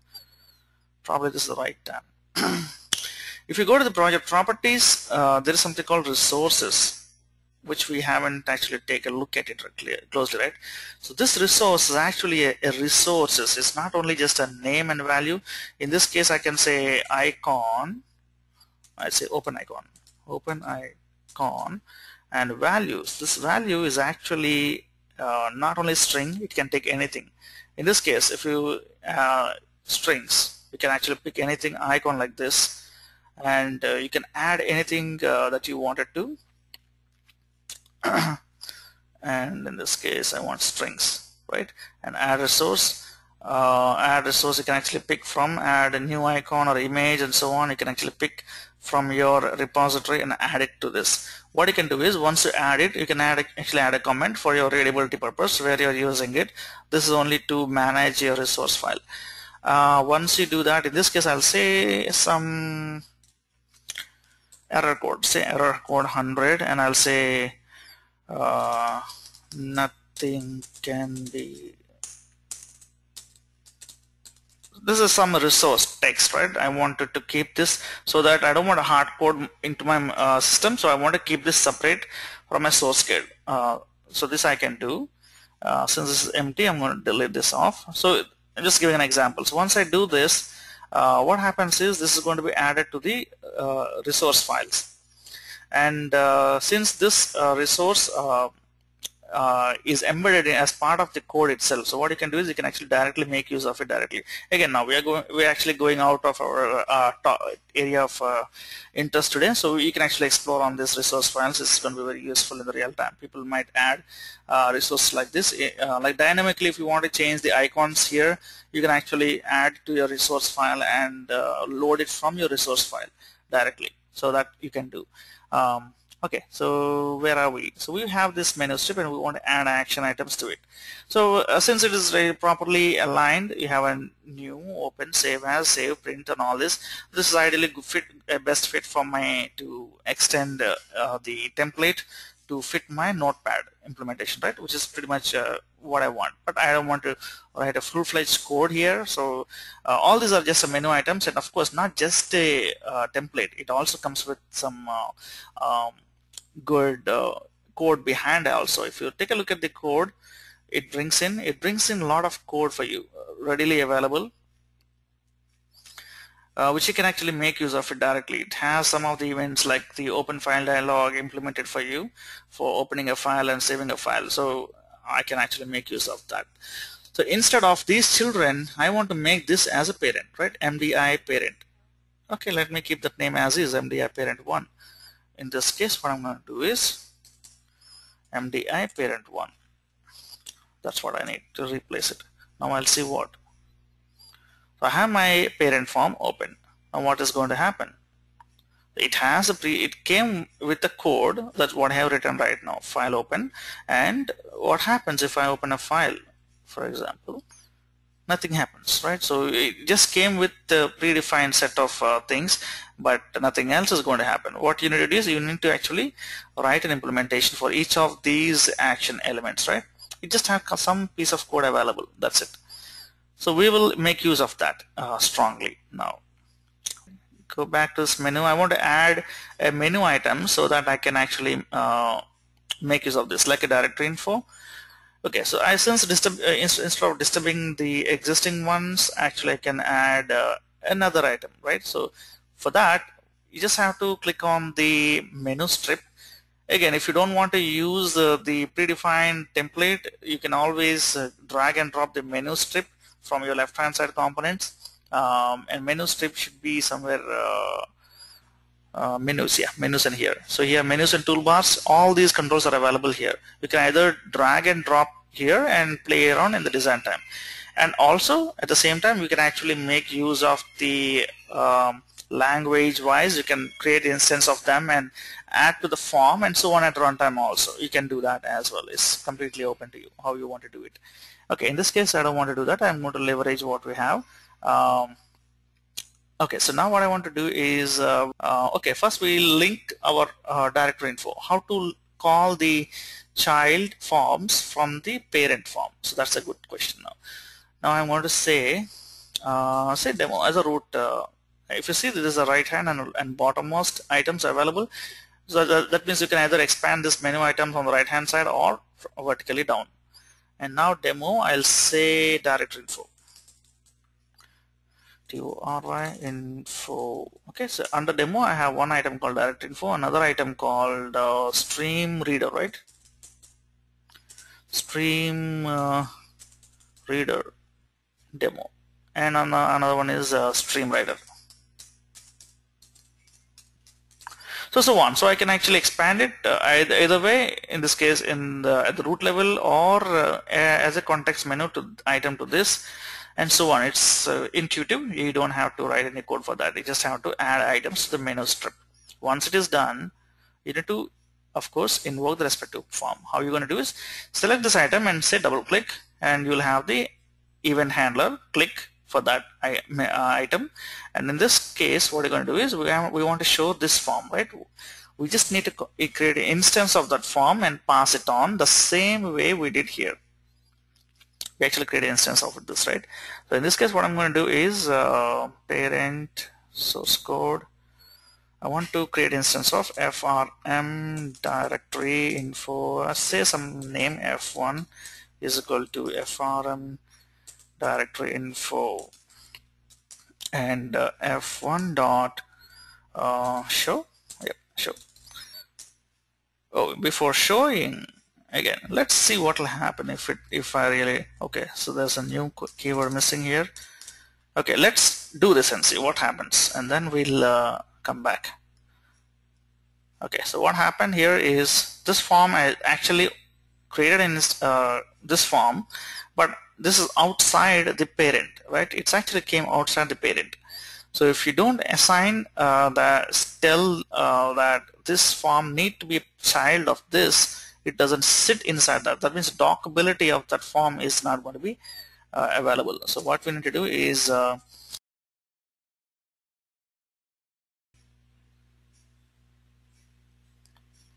now it's good so if I expand and expand this, so this is part of the main MDI form. Okay, so and once I can run this, I can run this as good as the uh, same normal way and get info. It looks like this doesn't have any files within it. Okay, so test files and then say get directory info. Yes, it's good. So it's working as good as, and I can simply uh, close this and again I can open this. That's fine. So if you remember everything behaves just like a normal thing. See if I expand it my uh, child forms uh, title bar is uh, gone up as a sub item here. And also the menu items. If my child also has some menu items you can actually merge them to the parent form. Uh, so if it has a menu items here that can, that will be merged along with the parent form also. So it's completely available. Uh, you don't have to uh, write any code for that. Now in this case uh, we will move on with the next form right?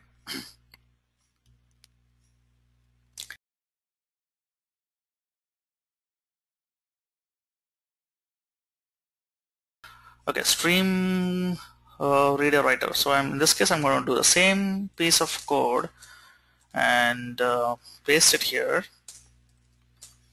uh, f1 doesn't matter so I'm going to say frm okay. Frm stream re reader and writer. Okay so that's all I need and of course this is the same thing. So if I run that piece of code stream reader yes I it works and does this work? This is the open file dialog and I'm opening test file 1 and yes I got it. So next step I want to do is I want to open this file content and display right? We'll do that. It doesn't take more than two lines of code. Stream reader form. Okay so we did till that part. What we're going to do is add uh, another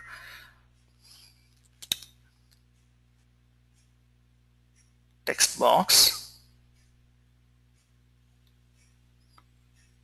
course I can even copy paste from the first one but okay this is a very lengthy list. I don't want that. I want the common controls.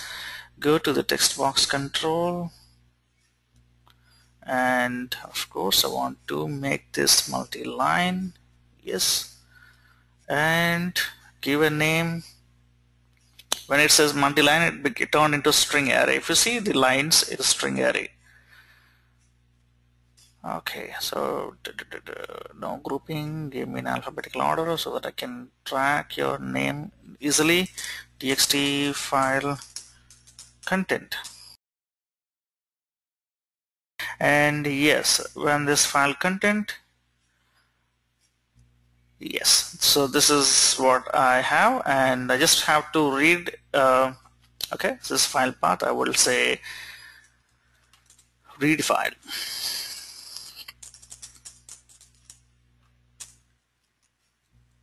content right? So this is read file content of course the name I need to replace again.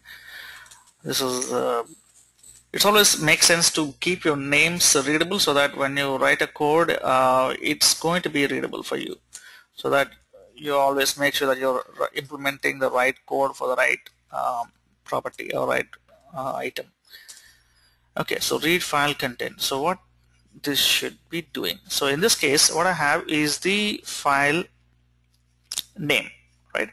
Uh, I need this file name. So using that file name how do I read the content of the file? Using stream reader right? I'm going to make use of the stream reader sr is equal to new stream reader. And this is going to take uh, one of the argument calls path. And the path I have txt file name dot txt. Okay this is the uh, input from the string. And sr dot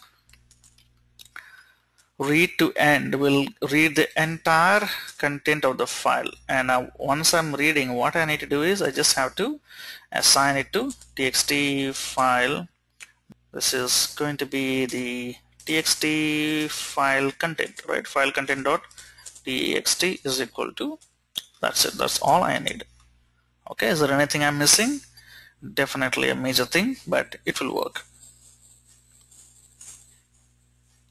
Stream reader. So I'm going to open a file like this and open and say read so it says hello test. So that's what the content of that file is I believe.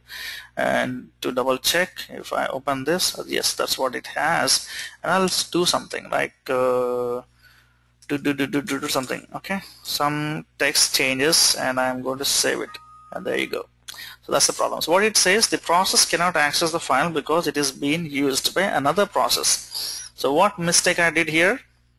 I just opened it but I did not close it so that's why this file is opened for edit mode and uh, it's not available for other programs to access it. So whenever you're handling with the files uh, it's all you have to choose whether really you're opening it for read-only mode or for write-only mode you need to choose. Uh, in this case uh, my intentions are not to edit it. My intentions are only to read the content.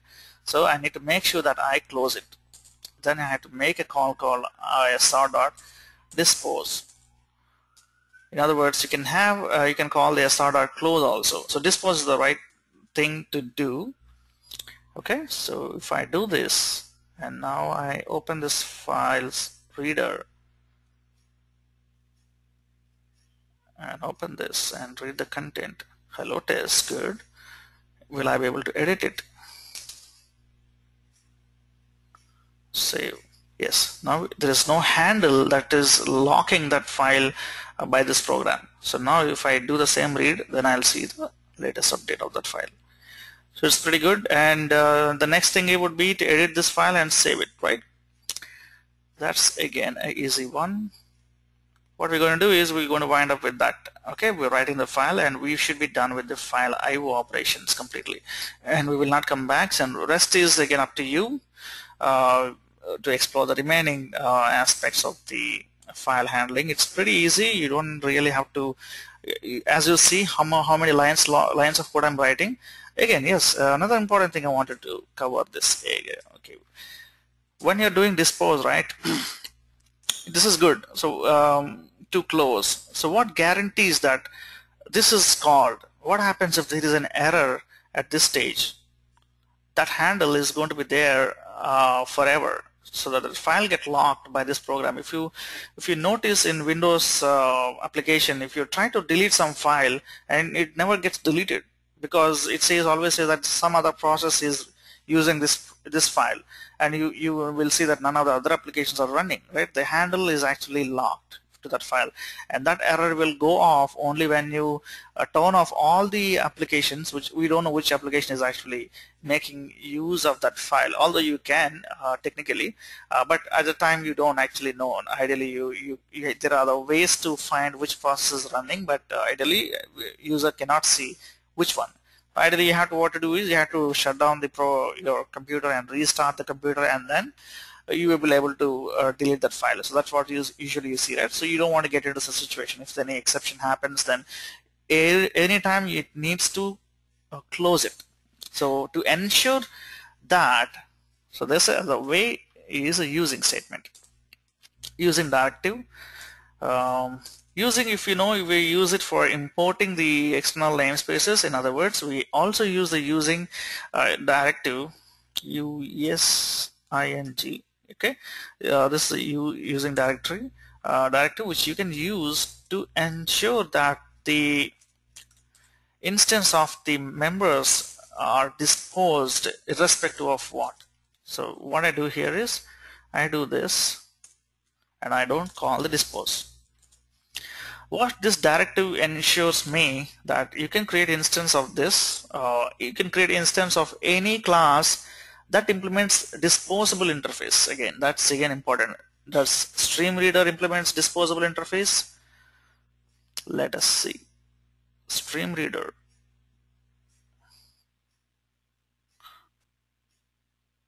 This does. You have a dispose method. It's override dispose. Uh, it has a dispose method which is uh, coming actually from uh, uh the IDisposable interface. So it uh, any class that has a dispose pattern implemented. In this case, this is a dispose pattern when you say uh, you implement that to provide the cleaning algorithm. If you remember the uh, garbage collection uh, we discussed in detail at that time we did uh, also cover instead of finalizer dispose pattern is the best way to apply a custom cleaning algorithm and uh, yes in this case using stay using directive you can actually ensure that the the respective class dispose call is made if or in case of uh, successful execution or in case of a failure. Uh, this will ensure. And, and uh, also another way is by using the try finally.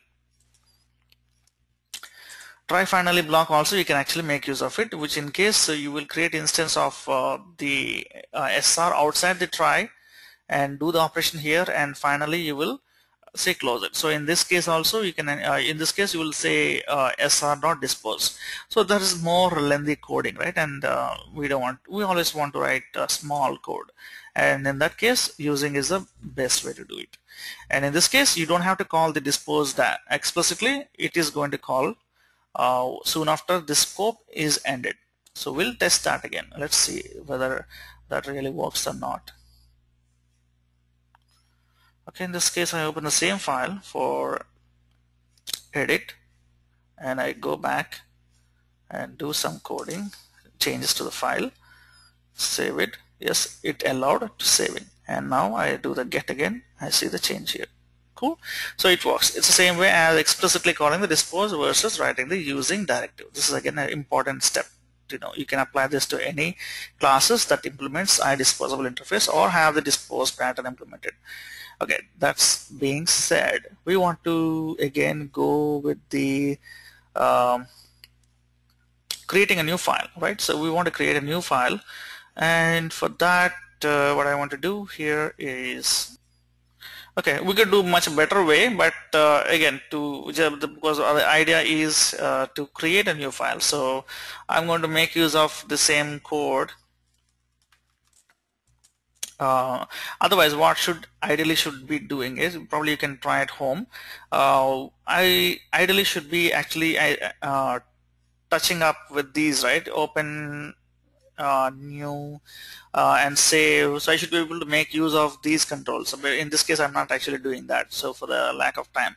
Probably if I have this code uploaded then I, you will see that version as well um, but you can actually give a try you can uh, it's the same thing right if, if you hit this it's actually creating it all we, we need to do is we need to call the respective form passing this uh, whatever selected value to it and how do you do that we can do that by by uh, by overloading the constructor. Uh, once you create the respective uh, form instance, uh, in this case uh, we are actually passing nothing. We can actually pass the values from uh, this page, this screen to the other screen by passing the overloading the constructor. Right. In this case, if I want a file name to be passed as a because file name is picked from this screen and passed to the next screen, right? So the next screen can do the rest of the operations. That, that way you can pass it on. Okay, to keep my example simple for the demo, I'm actually doing here, uh, what I'm going to do is uh, text is uh, create new file. Create new file, right? Using the same thing. Okay, so creating new file, what it should be doing okay what I should do again I'm lazy but okay this time I will spare I'll use a stream writer stream stream writer is w is equal to new stream writer and it's going to take the path as a txt file name dot txt text right? It's doing the same code. Same piece of code. Only difference will be its other way around. Sw dot write. It's going to say write. And what is the content I'm going to write? I'll say txt file content dot txt that's that's all it is it needs and rest all is taken care. In this case, I use the st stream reader to read and I call the read to end and in the, in the other case, oops, sorry, this is an error. And the other case, I just use the stream writer, stream writer, and I use this sw.write to output the file content, whatever I have in my text box. That's the only code. Just how many lines it took. It literally actually two lines of code because of the brackets. Uh, it's four lines. That's all I need. And in this case what I'm going to do is uh, instead of open file dialog I actually want to have a save file dialog so that um, okay so what I'll do is I'll make it again simple. Okay I'm I know I'm doing a little crooked way uh, because I'm trying to fit everything into one of this uh, but okay you can write a better one okay if you as long as you get the idea what I'm trying to do uh, btn uh, save file dlg okay. So we're going to make use of the same code here. Only thing is we'll be changing here is the okay uh, only thing we'll be changing here is the dialog. Instead of open file it's going to be save file. And uh, save file dialog sfd is what I would say. And uh, sfd sfd so on. And ssfd okay okay I should have used uh, shortcuts for that. Okay so does it uh, bother? No no compilation errors and let me see. So in, in this time what I'm uh, okay I should have uh, linked uh, the separate form and stream writer but again don't worry. So you can do a better job. I know. And in this case uh, okay so I'm not opening. I want to actually create new right? Okay so this is a save as. If you take a look at this this is a save file dialog. It is save as which is different from read.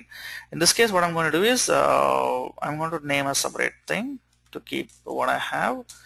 Uh, text file 11 and uh, type if you see you can actually add a filter to it to have a type associated but right now we're not doing that. If you can actually have a filter to filter only the respective files. In this case uh, star.txt that you can add. Uh, right now uh, for the time's sake new file created uh, whatever it is and now says uh, create new file. Okay so I don't see any status because I did not code to show status and but the file is created right? So the file is created successfully. So that's all it is. F, uh, file IO is very interesting and very very useful. And there are a ton of other things uh, I think and I think I can make a quick quick very very quick demo for the last one. So that because I don't want to continue with this tomorrow again. Uh, with the file system watcher right? The file system watcher is again a very interesting one and it's going to be very very quick. Uh, what I'll do is I'll make use of this here okay? Uh, what I'm going to write here is uh, say okay I'll, I'll just uh, write a code to watch and this will say just say watch. Watch directory. What I'm going to do is add a listener to the directory that I'm going to pick and uh, notify me if there is any change happening on that directory right? That's very interesting. And for that what I need to do is uh, either I can do from the code. In this case I'm again little lazy. So I'm going to what I do is I'm going to uh, bring in a control that I can do for me. Directory searcher file system watch. Yeah there you go. So there's a file system watch here. Okay drop it. And what I'm going to do here is uh, going to make use of it. I'll say this dot file system watch dot what is that? Python this is the correct one. Txt directory name right? Dot text all I need is just this I believe. Let's take a look. And uh, then what else? Hmm, that's all. I can say notify something saying that yes I'm being watched. And uh, I will do that by adding it to this. Okay directory info dot uh, items dot add say string dot format the same usual statement. To pass in the path. That is txt directory name dot txt. Okay. Watching. This. Oh, c-h-i-n-g good. And semicolon at the end. Good. And now what? What will uh, how will I know, get notified so for that notification if you know the if you remember the event handling right? Uh, we need to actually get into the event handlings for this control. So there's a changed event right? Whenever there is a change happens this event will be fired and will get the information as part of the arguments E. So we need to trap that arguments into our directory. All that we need is that okay?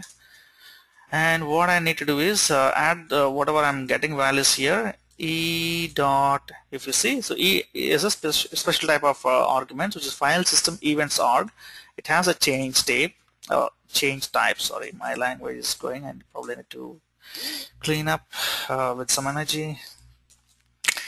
And name. So I have I'm just picking three values here. And uh, I'm going to show that out in this format here. And uh, one. And two so that's a lot. That's all I need here. Nothing much. So I'm just making use of it attaching the respective directory to watch and notifying uh, us that uh, I'm watching started watching the directory. And whenever some even ha anything happens in that directory like adding a file something like that it should be notifying me. So in this case I'm going to directory info and uh, pick a path my personal test files folder and I'll say watch now it's watching this folder. Now we'll go and do something on that folder. Will I add? Yes. When I add a file it did uh, track that event. So that means when I add a file it did. And also when I where does it happen? When if I modify the file?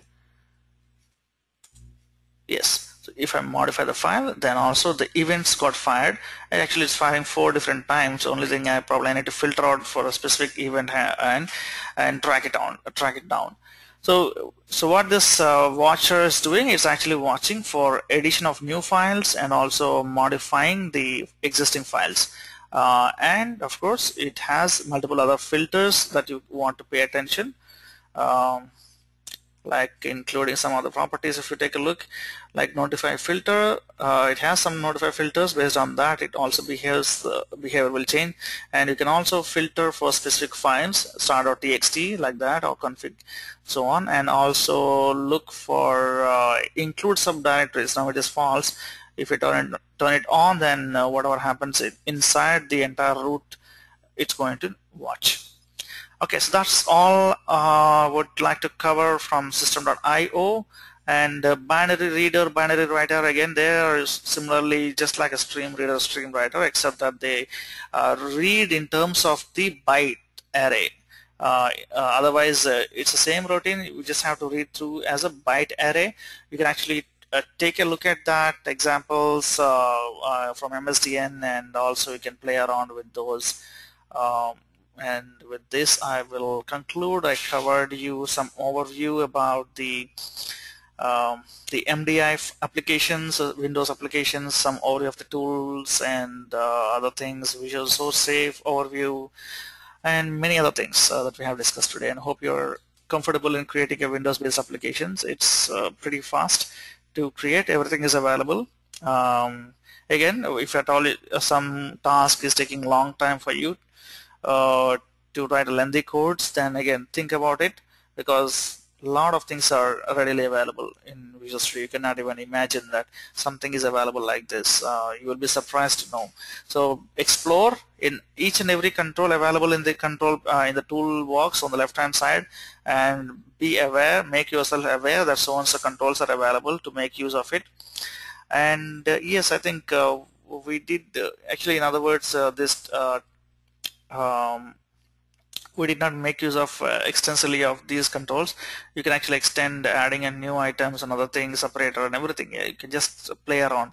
It's a child's play in fact. So if you just walk through you will understand how to do it. It's pretty much uh, user friendly and of course from coding also you can do it and uh, of course the progress bar if you take a look at the uh, status bar here it has a lot of other features like you can actually add a progress bar here and track if it is doing a lengthy process then you can actually track it. Uh, and also split button uh, we can have a ton of other things a drop down control uh, uh, it, it has a drop down control and so on. You can actually ex expand this status bar also I have a status and in this I have a name. Each item that you added up to it will have a name. All you need to do is uh, actually access that here. What I'm going to do here is as simple as uh, going to code behind or not code behind exactly to the respective uh, for example in this case I'm going to open a file dialog at this file name. I'm going to just show that here. Text is equal to file. Oops uh, because file name is actually uh, declared inside. That's why I'm not able to access it. What I'm going to do is I'm going to declare it outside and then assign this here so that I can able to access that value whatever I read. Okay so compile this and uh, there is an error. Okay so this is what error semicolon missing and there is another error which says uh, use of unassigned local variable so when I have this I have to always initialize with empty again remember when you're initializing with uh, strings there are two ways you can do you can actually either do this way okay or using the string.empty. There are two different things. And the best thing is to do string.empty because even though it, there is nothing here, it's actually treated as a string. And that will actually allocate a memory for that. Uh, since strings are immutable so they're going to allocate a memory for that empty string. In this case it's not. It's going to be empty uh, and it's not going to allocate any memory for that. Okay just to demonstrate this uh, I'm going to pick some file and I want to see this path in my status bar. So if you see the status bar shows me that so that's how we can actually access the status bar. And also you know we can actually explore up to your interest. It's going to be pretty cool interesting thing.